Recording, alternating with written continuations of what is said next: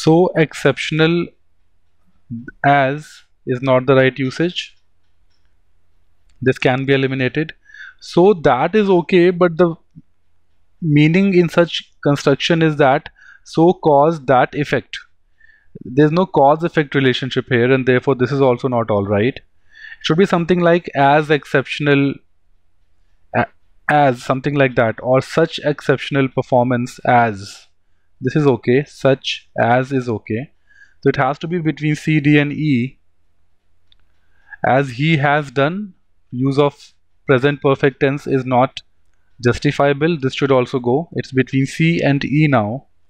And now let's see which one is parallel. Never in history of marathon did anyone display there's a did here. Did anyone display something as he did?